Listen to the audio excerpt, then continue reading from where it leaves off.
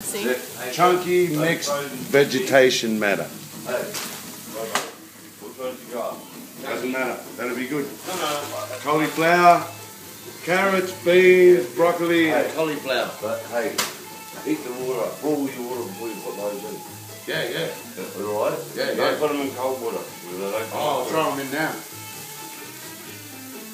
See, this is the junior.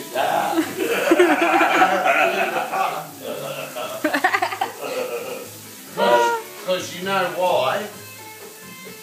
Because they go soggy.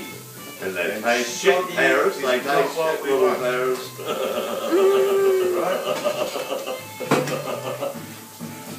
And I got my head I've on. only got a bit. Don't hot diving. Don't flour. Oh, yeah. Get the sword. Fetch me my sword. We'll get a bit of salt too, bro. Come on, mate.